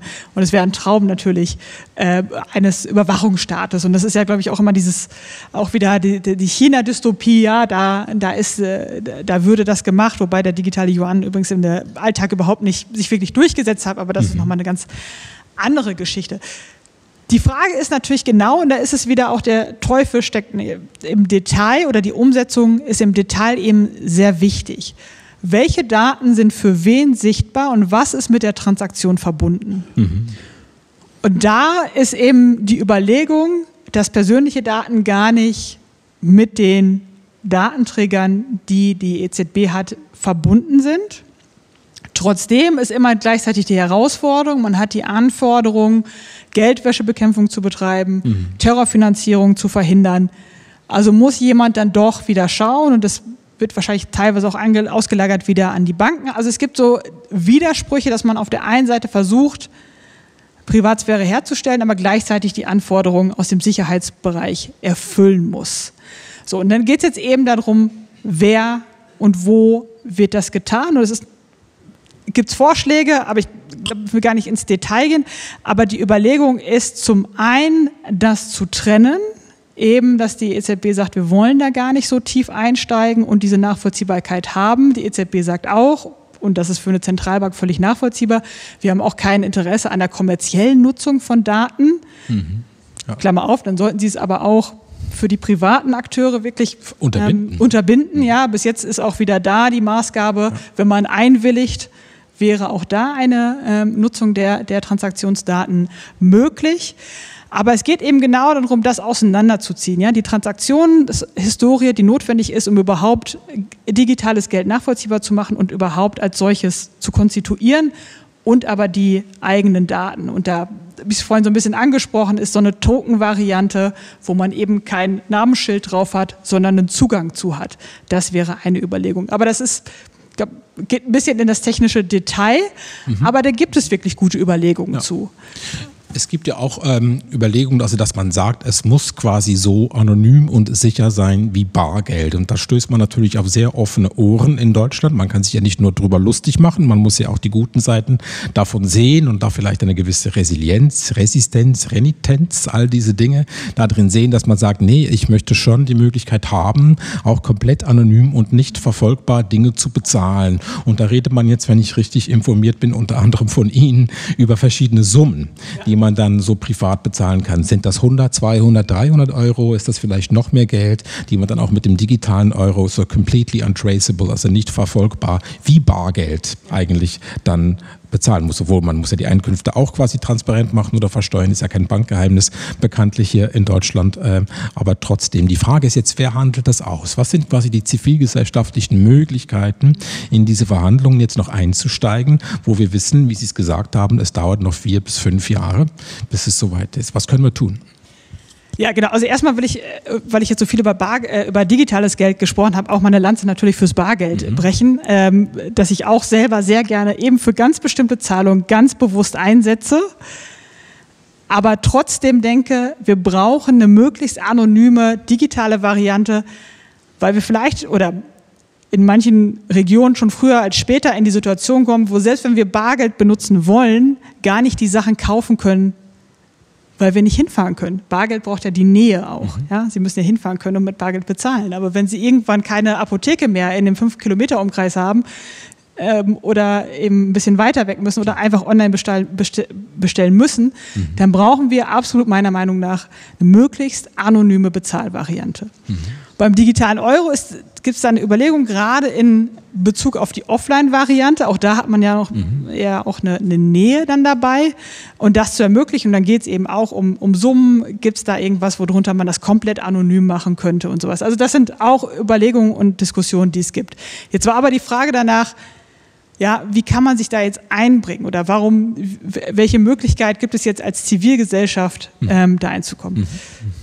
Erstmal ist natürlich ja über die politischen Parteien. Ja, das ist eben unsere Form der, der politischen Organisation, auch gewisserweise ein Interesse zu zeigen an diesem Thema und zu sagen, liebe Parlamentarierinnen, Parlamentarier in Brüssel, uns ist es wichtig, dass das ausgestaltet wird, dass das möglichst auch so gestaltet wird, ähm, dass es anonyme Möglichkeiten gibt, dass es äh, datensparsam ist und so weiter. Also ich glaube, Aufmerksamkeit für das Thema und eben nicht, das ist eine Randnotiz und irgendwas, was sehr, sehr weit weg ist, wäre der erste Punkt dahin. Und dann, ja, also gibt es natürlich die entsprechenden zivilgesellschaftlichen Organisationen, NGOs, die wir in Deutschland haben, die sich des Themas auch jetzt mehr und mehr annehmen, die dann auch ja. in die Richtung halt steuern können. Bis jetzt sind die, die sich natürlich besonders dafür interessieren, die Banken, ja, also aus natürlichstem Interesse heraus ähm, haben sie das Thema, sind sie das Thema angegangen und äh, ja und haben natürlich auch ihre Möglichkeiten, dann vielleicht auch auf den Gesetzgebungsprozess in Brüssel einzuwirken. Aber ich glaube erstmal auch eine Aufmerksamkeit darauf zu lenken und zu sagen, es interessiert uns, was da passiert. weil es eben so relevant für uns als Gesellschaft ist, dass wir mit Geld die zentrale gesellschaftliche Institution überhaupt einen Punkt haben wollen, das auch im gesellschaftlich oder im, im, in unserem Sinne gestaltet wird, das ist sozusagen der erste Punkt dahin. Aber dann, ja, unsere Gesetzgebungs- und Gestaltungsmöglichkeiten laufen immer über diesen politischen Prozess, der Aufmerksamkeit braucht, der Diskussion braucht, ja, und vielleicht auch überhaupt eine Diskussion, das Geld als Technologie, was ist, was uns alle was angeht. Das wäre für mich schon ein erster Schritt in die richtige Richtung. Offenbar ist das aber sehr schwierig, dafür politische Aufmerksamkeit zu kriegen, wie wir wissen. Ich weiß nicht, ob das nur in Deutschland so ist, aber in den letzten 15 Jahren hat man ja gesehen, dass eigentlich keine ernstzunehmende demokratische Partei, bleibt jetzt nicht mehr so viel übrig, äh, sich äh, quasi ernsthaft des Themas angenommen hätte in den 15 Jahren oder das nach vorne geschickt hat. In der zweiten und dritten Reihe ja, aber ganz vorne war es ja also quasi nicht existent in vielen Fällen, oder? Ja, absolut. Also auch bei jetzt den Europawahlen war es ein Thema, was ausgespart wurde. Mhm. Und da denke ich, das ist eigentlich ein ist ein Unding, ja, weil man hat dann Angst eben vor Rechtspopulisten, dafür, dass es äh, eben popularisiert wird, dass es irgendwie da einen Diskurs gibt, dass man das Bargeld abschaffen wolle, was ja mhm. Quatsch ist. Aber man ist sofort im Kulturkampf drin. Dann ja, wieder, genau, ne? dass man sich dann im Kulturkampf und den, den lässt man lieber aus, ja. anstatt ihn mit einem aufgeklärten Diskurs ja im idealsten Habermarschen Sinne sozusagen anzugehen. Man hat eigentlich schon vorher kapituliert und gesagt, das, das Ganze lassen wir raus. Natürlich, es ist kompliziert, ja. Also ich spreche jetzt hier 45 Minuten und versuche das Thema zu erklären und warum es interessant ist. Das sagt schon was über auch ein bisschen die Komplexität ja. des Themas.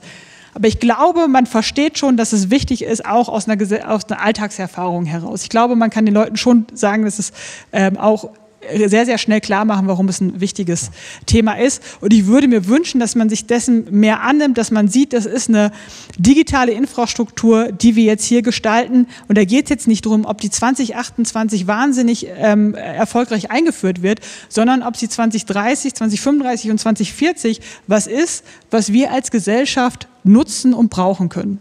Also so das muss eigentlich die Zeitschiene sein, ähm, in der wir gesellschaftlich denken und einfach nicht sozusagen zu kurzfristig, weil zu oft haben wir ja, wir sehen unsere Infrastrukturen heute, Sie haben es am Anfang gesagt, ja, zu oft haben wir zu kurzfristig gedacht und mhm. zu, zu viel über, naja, können wir das jetzt machen und funktioniert das in zwei, drei Jahren?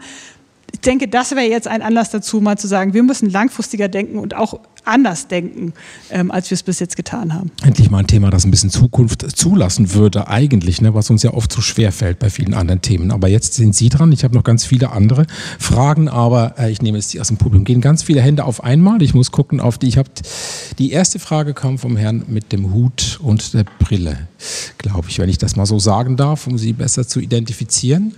Ja, und ich versuche dann habe da hinten noch was gesehen und hier. Hier vorne in der Mitte. Dankeschön. Dankeschön.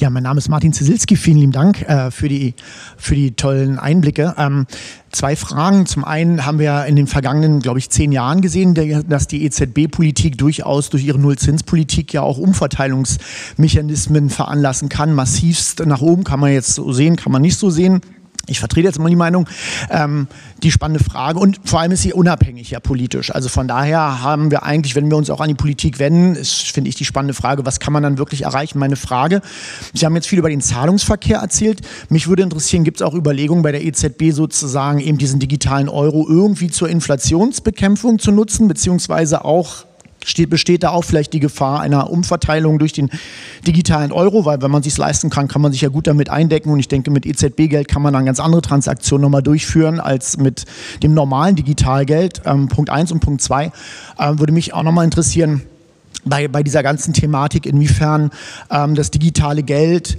ähm, ich sag mal, hm, Sie haben es so ein bisschen angedeutet, dass es vielleicht nicht möglich ist, äh, äh, Privatsphäre. Ich habe gerade noch mal so einen Artikel gelesen über dieses wunderbare, äh, die Bezahlkarte, die aktuell ja für Flüchtlinge im Gespräch ist, wie man damit, was man damit alles programmieren kann. Also von dem Verfügrahmen von 50 Euro im Monat bis hin, wo man sie einsetzen kann, bis hin, was man damit kaufen kann und so weiter. Also total programmierbar. Und damit werden die Menschen natürlich unglaublich steuerbar. Und ähm, das kann da natürlich auch der Fall sein, auch wenn man es vielleicht leugnet. Aber wie Sie gesagt haben, digital ist das alles möglich. Jetzt sehe ich also, ich kann eigentlich nicht an diese Institution herantreten aufgrund ihrer Unabhängigkeit. Sie kann aber solche kraftvollen Technologien in den Raum bringen. Äh, wie soll man da als Gesellschaft mit umgehen? Also Umverteilung, Inflation und soziale Kontrolle, oder? Das sind die drei Stichworte, glaube ich, äh, äh dieses Redebeitrages und der Frage, wenn ich es kurz zusammenfassen darf. Ja, super, super Fragen. Ich fange äh, hinten an bei der äh, Bezahlkarte. Genau, also bei der Bezahlkarte handelt es sich um programmierbares Geld. Genau das. Man kann darüber festlegen, was Menschen damit kaufen können, durch Kategorien. Ja, Essen, ähm, also Nahrungsmittel, Babynahrung ist erlaubt, Alkohol könnte man zum Beispiel verbieten. Das wäre auch mit den digitalen Zentralbankwährungen möglich. Muss man direkt sagen, ist möglich, programmierendes Geld zu machen.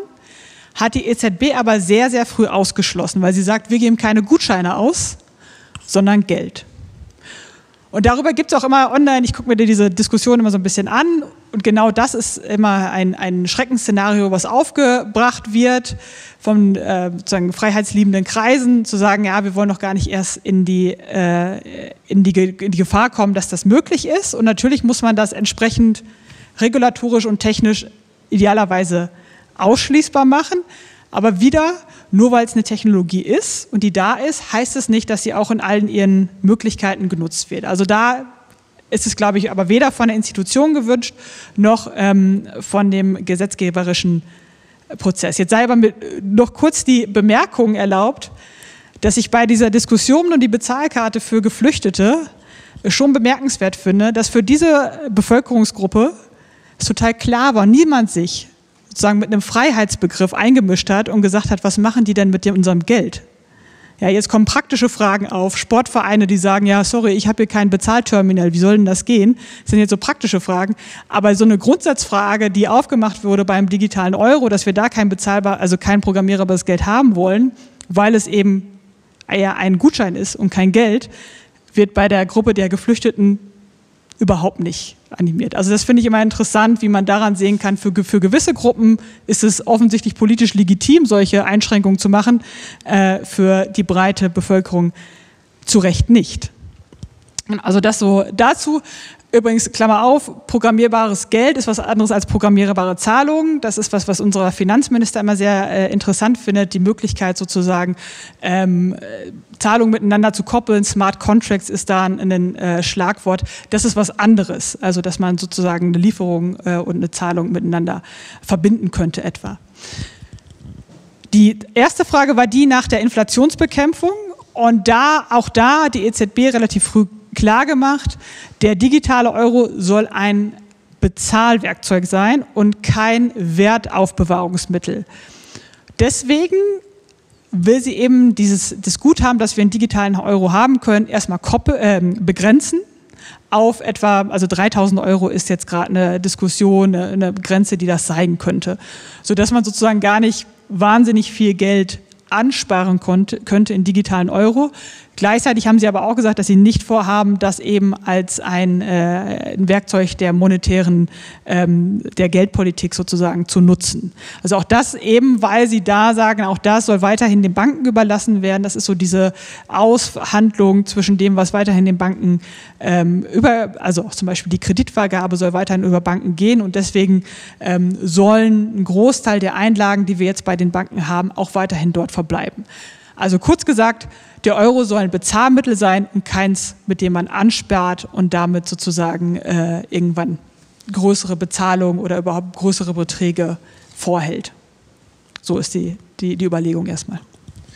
Das ist ein Herr da ganz hinten mit meiner Haarfarbe und einer Brille, genau, ja. Ähm, ich wollte eigentlich nur zum Anfang was zur Einleitung sagen äh, von Frau Hofmann, richtig.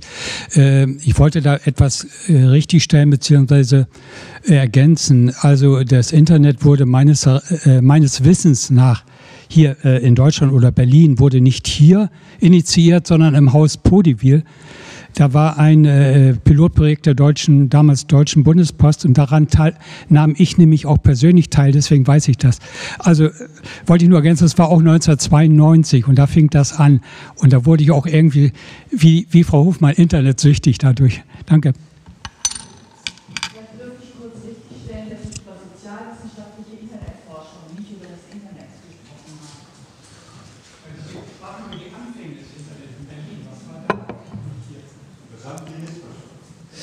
Glaube tatsächlich, das ist ein Missverständnis. Jetzt gibt es hier einen Herr mit der Brille, der gerade in der Mitte die Hand aufstreckt und dann noch hier vorne. Ähm, hallo, vielen Dank für den Vortrag. Ähm, mich interessiert so das Stichwort äh, Souveränität und auch äh, die Kryptowährung.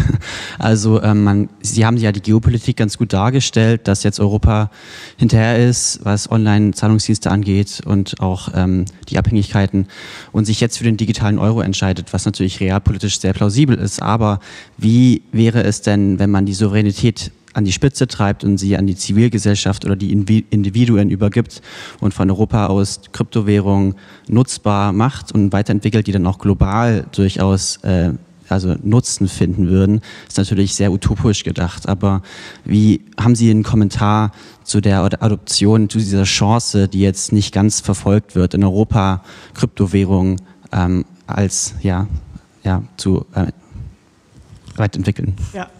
Ja, danke für die Frage. Also erstmal äh, finde ich ja, Kryptowährung war mir von Anfang an irgendwie erstmal sehr sympathisch, weil sie überhaupt das Thema Geld oder Geldschöpfung, Geldform wieder sozusagen auf die Agenda gesetzt haben, weil sie erstmal gesagt haben, es gibt ja auch eine andere Form, wie man Geld überhaupt außerhalb dieses etablierten Systems voranbringen könnte, war sozusagen eine äh, technologische Kritik am aktuellen System.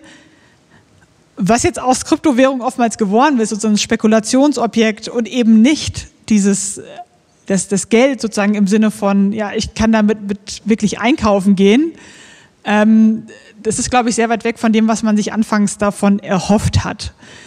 Und eben Kryptowährungen sind ja vor allem jetzt ein Investitions-, ein Spekulationsobjekt geworden. Und deswegen ist irgendwie die Entwicklung der letzten Jahre, die auf, als einerseits sozusagen als Erfolg der Kryptowährung gesehen wird, dass so viele damit zu tun haben, aber auch gleichzeitig immer weiter weggekommen von der Ursprungsidee. Deswegen sind solche Ansätze, sozusagen zu überlegen, naja, wie könnte man es denn wirklich demokratisch machen? Die gab es zwischendurch. Es gibt ja auch so äh, Taler, die wirklich auch von, von entsprechenden Kollektiven vorangebracht wurden, wo man sich sehr, sehr viel Gedanken gemacht hat über Privatsphäre und so weiter, die sich aber letztendlich dann nicht durchgesetzt haben, gesellschaftlich auch, weil eben dann doch bei Geld mehr im Spiel ist als Technologie und Möglichkeiten und Privatsphäre, sondern es geht eben Vertrauen. Was ist ein Euro? Ja, wir vertrauen irgendwie, dass der Euro morgen noch seinen Wert hat und so weiter. Und so ein bisschen zeigt ja dann auch die, die Erfahrung, dass es offensichtlich dazu diese größeren Institutionen, die Zentralbanken braucht, die dann auch das durchsetzbar machen. Also ich habe schon gewisse Sympathien für die Ansätze und die Überlegungen, na, was ist denn, wenn wir jetzt Geld mal bottom-up designen würden? Aber mein Eindruck ist, bis jetzt sind die immer zumindest lokal an ihre Grenzen gekommen. Also es gibt ja so ein paar lokale ähm, ähm Gemeinschaften, die sich darüber organisiert gehabt haben. Aber ja, bis jetzt offenbar noch nicht äh, darüber hinaus. Gut, helfen Sie mir, sollte ich nicht männliche Personen übersehen haben bis jetzt, was äh, die Voten angeht. Sonst würde ich hier in die zweite reingehen. Sie haben sich schon länger äh, gemeldet. Und sonst melden Sie sich bitte. Wir haben noch ein bisschen. Aber ja, nicht lange. Ähm, ich wollte anknüpfen, das Beispiel Facebook, was Sie erwähnt haben, wollte das aber ergänzen, zu, etwa zur selben Zeit hat sich Facebook rausgenommen, als es darum ging, Stichwort staatliche Sicherheit, das Monopol, Gewaltmonopol des Staates, USA in diesem Falle, äh, raus, äh, Daten auszugeben zur Verbrechensbekämpfung. Das war etwa zu zeitgleich und das war, hat also sehr viel auch Diskussion in den USA geführt. Und von dem Hintergrund, ich sehe hier Demokratie stärken, Zivilgesellschaft stärken, also von daher, und wenn dann aktuell zeigen also die letzten Wahlen, Europawahlen ja auch ein Stück weit einen erheblichen Vertrauensverlust in, in die Parteien der sogenannten repräsentativen Demokratie. Von daher und zum Glück in Deutschland eben nicht gleich Richtung Rechtspopulismus, denn äh, ein Stück weit äh, sind die, ist die AfD hier in Deutschland unter ihren Erwartungen geblieben, was sie selber auch, auch äh, so analysiert haben in Form durch die sogenannte Wegfall der Hürde. Das heißt also, gerade bei den jungen Leuten, die dann bewusst, ja, zum Teil auch AfD, aber zum großen Teil auch eben zum Beispiel Volt, die vorher 0,8 Prozent, plötzlich 3 Prozent oder auch andere. Ja. Kommt jetzt bitte aufs Geld, ja, okay. die Frage. Ja? Das ist die Frage dass wir hier beim Thema bleiben. Vor dem Hintergrund Stichwort Vertrauen. Und da will ich anmerken, der Chaos Computer Club hat gerade in Bezug auf äh, Ver, äh, Verbrechensbekämpfung, Stichwort im, im digitalen Bereich, ja, äh, ziemlich lange auch Kooperation mit dem Bundesamt für, zur Sicherung der Informationstechnologie, quasi die Kooperation, aber mit dem Misstrauen, was entstanden ist, dort diese Kooperation erstmal gekündigt, also, also quasi ausgesetzt, äh, äh, weil mit dem Argument eben halt äh, Stichwort Vorratsdatum und so weiter, ich will das jetzt nicht ausführen. Und insbesondere hat dann in, im Rahmen eines Vortrags auf dem Chaos Computer Club äh, Treffen äh, gesagt, es ist wichtig, offline und online, aber offline nicht nur marginal, nicht nur als Nische, sondern wirklich äh, eine gewisse Gleichrangigkeit. Wie würden Sie das einschätzen, wie sowas man realisieren kann? Also quasi ein Zwei-Wege-System. Ich glaube, es geht offline um und online, aber nicht nur ich, äh, das, was Sie immer gesagt haben, offline äh, mit einzuführen. Ja. Das habe ich für mich eben einmal so begriffen in dem Zusammenhang, so doch nur genau, man kann das auch offline machen. Das kann man ja schon mit ja. aktuellen Zahlungsmitteln machen, wenn man beim Rewe zum Beispiel keinen Empfang hat, was ja öfter vorkommt, auch in der Innenstadt Berlins oder so, kann man ja tatsächlich auch ohne Internetverbindung mit amerikanischen Zahlungsmitteln äh, durchaus äh, seine Ware bezahlen, oder? Das ist eigentlich bereits möglich. Technologisch ist das kein Problem, oder? Guckt so einem Mitarbeiter, der sich da äh, zum Glück ein bisschen besser auskennt. Aber ist es, ich bin mir gar nicht so sicher, ob es da eine, aktuell schon die entsprechenden Offline-Varianten gibt, weil eigentlich bei, einseitig, genau. Ah.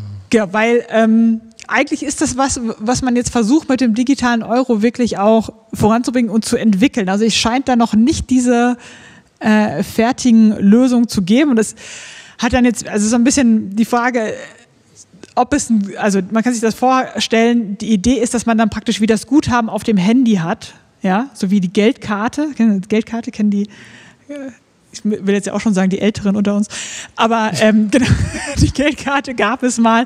Und in etwa so, dass, dass äh, das Prinzip zu übertragen ähm, sozusagen aufs Handy, dass man da ein Guthaben dabei hat und dann würde es funktionieren, auch auf, offline damit zu bezahlen.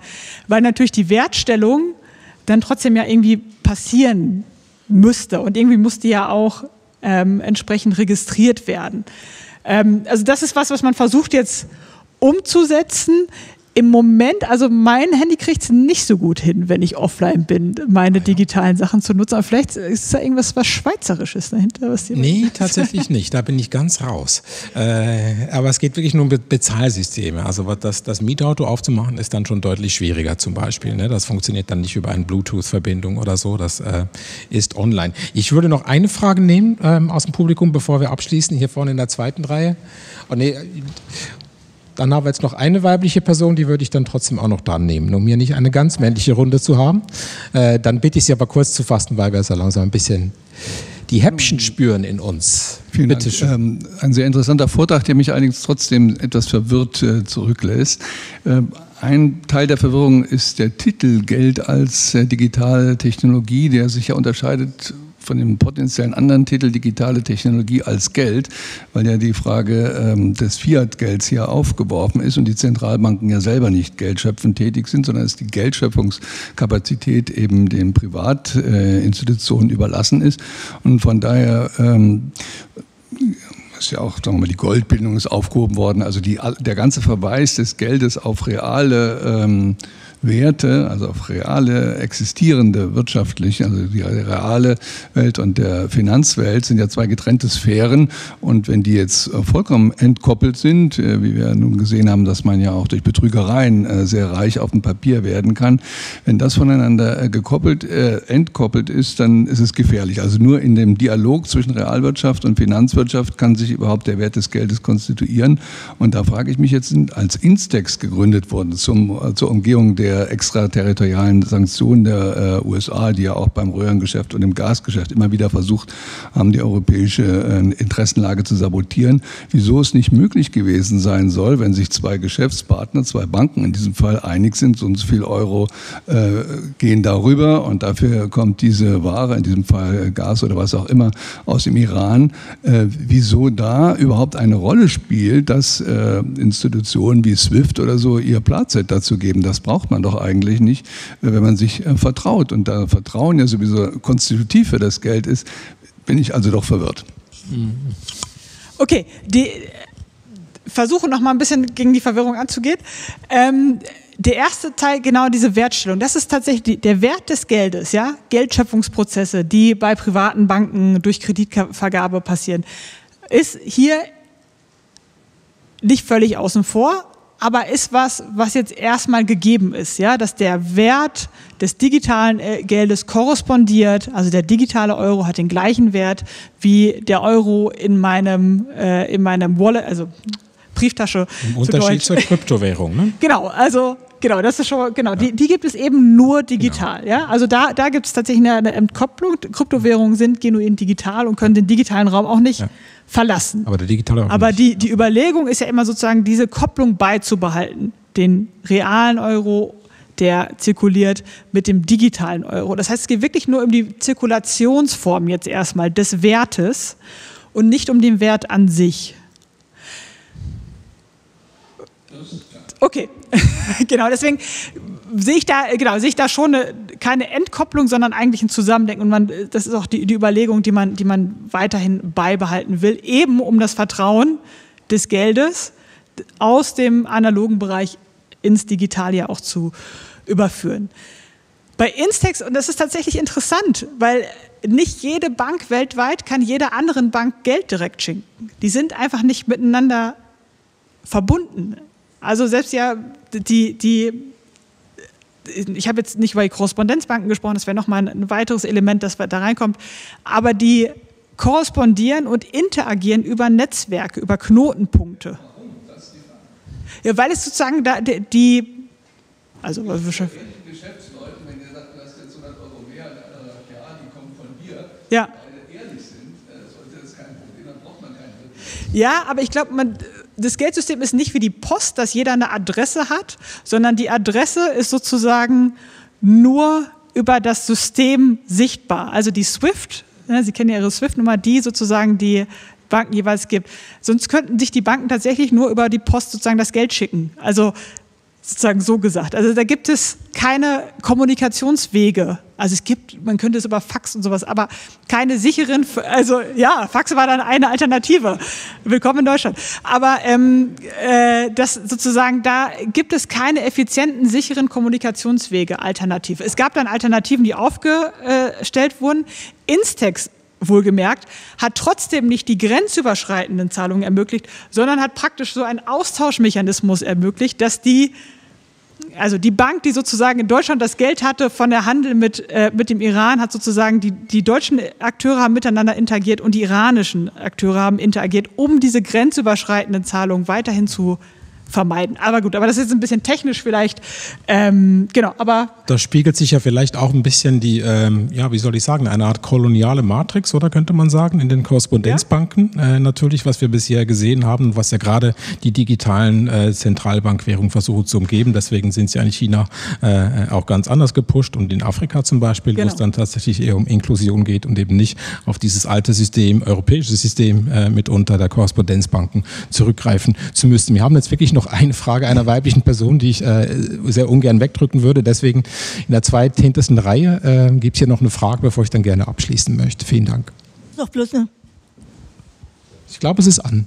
Es ist auch bloß eine ganz kurze Frage und zwar, wie sind denn eigentlich Prepaid-Karten bei Insolvenz geschützt? Bitte? Ich habe es jetzt akustisch nicht so gut verstanden. Vielleicht. Äh, ja, sagen Sie es nochmal einfach ein bisschen. Ja.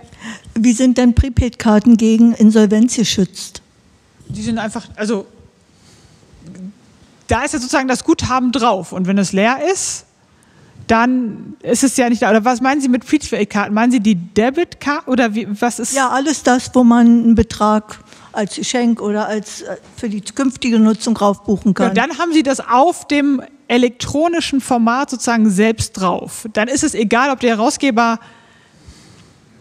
insolvent ist. Ich überlege jetzt kurz noch, ob das, also Hauptsache, Sie haben eine elektronische Möglichkeit, sozusagen das Guthaben, das da drauf ist, wieder abzurufen. Das wäre jetzt das Wichtige. Aber ich glaube, erstmal insolvent wäre jetzt sozusagen indirekt damit verbunden über einen Herausgeber oder, oder die Möglichkeit, dass es elektronisch nicht mehr abrufbar ist. Das wäre eine Gefahr, dass man da nicht mehr dran käme an auf das Guthaben, das man auf einer Prepaid-Karte hätte. Aber ja. Danke.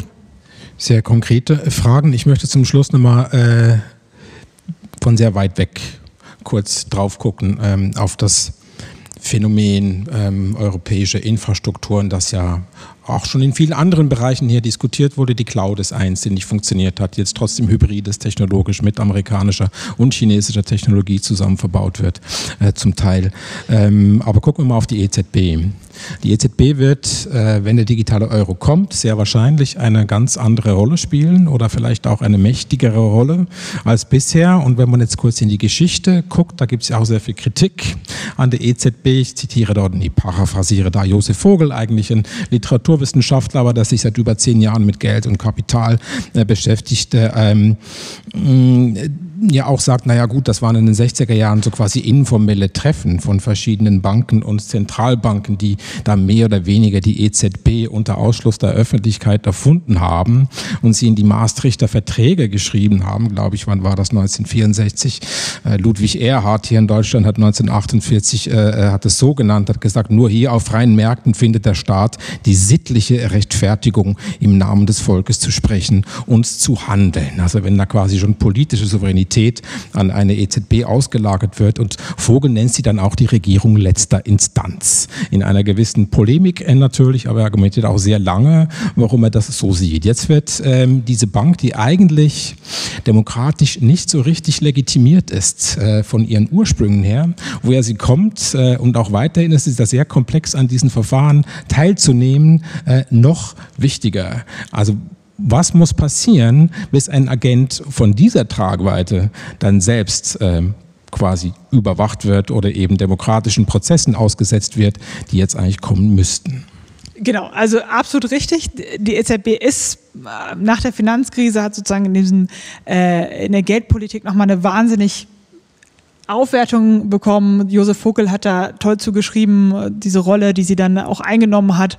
Ähm, und natürlich auch die Kritik daran, dass es eine technokratische Institution ist, eben die Kritik auch, dass sie überhaupt nicht in keinster Weise demokratisch legitimiert ist, aber was natürlich gleichzeitig genau der Punkt ist einer Zentralbank, dass sie unabhängig von allen von der Politik, ja. von der Politik ist. Mhm. Sozusagen, das ist natürlich immer diese, diese Grundspannung, die ja. wir bei den Zentralbanken haben. Zugleich muss natürlich sagen, ja, da, da geht es jetzt auch darum zu sagen, na ja, was wäre denn A natürlich Szenarien, wo äh, politische Entscheidungsträger sich verändern, wenn da jemand sozusagen mehr auf Überwachung setzen würde, mhm. dass wir da vorhersehbar, also Vorkehrungen machen, dass dann eben dieses Instrument nicht für politische ähm, Zwecke genutzt werden kann, aber gleichzeitig natürlich auch ähm, vom Akteur selbst also der EZB selbst, da ein Vorkehrungen machen, äh, Auditorien, immer wieder kritische Befragungen und die EZB muss sich ja etwa dem Europäischen Parlament in einer, in einer Befragung immer stellen, mhm. ähm, das auch weiterhin zu stärken, weiterhin da die, die kritischen Befragungen aufrechtzuerhalten, ähm, um da die demokratische Kontrolle zumindest indirekt auch weiterhin zu haben. Aber ja, klar, das ist, das ist eine Frage und das ist auch eine berechtigte Kritik immer wieder an, an den Zentralbanken. Ja, wie, wie können wir da überhaupt Einfluss nehmen oder wie ähm, inwiefern sind sie da überhaupt legitimiert, das zu tun, was sie tun? Ähm, aber, also, ich will jetzt nicht nochmal ein großes äh, Fass aufmachen. Für die EZB selbst ist, glaube ich, dieses Projekt digitaler Euro eben deswegen auch so spannend, weil es jetzt hier nochmal einen anderen Aspekt auch für sie aufmacht. Also sie hat es eben bis jetzt immer nur mit Banken, äh, mit sozusagen äh, diese über ihre Geldpolitik äh, eine spezielle Art von Kommunikation auch betrieben, die eben vor allem in diesen äh, Zirkeln irgendwie reflektiert wurde und äh, worauf auch dann äh, reagiert wurde. Jetzt mit dem digitalen Euro fährt sie oder ist sich bewusst geworden, naja, dass sie da andere Publika anspricht. Also zum einen ist es die europäische Politik, aber letztendlich ist es eben auch irgendwann die europäische Öffentlichkeit, so es denn so eine überhaupt gibt. Man mhm. ist ja oftmals in Nationalstaaten mhm.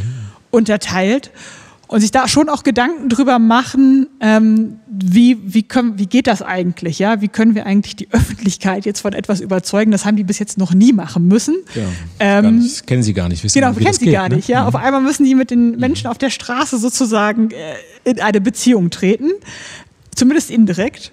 Ähm, und das ist auch eine Herausforderung für die jetzt erstmal. Und das finde ich wiederum sehr spannend, dass sich diese Zentralbank, die ja sonst, Sie haben es auch anfangs sehr schön beschrieben, ja, in Frankfurt, hoher Turm, ähm, gerade auch immer dieses, dieses, ist auch äh, gegensätzlich zu den Banken auch gerade auch architektonisch ja auch so platziert und so weiter, sich jetzt aber nochmal anders mit auch einer europäischen Öffentlichkeit auseinandersetzen muss.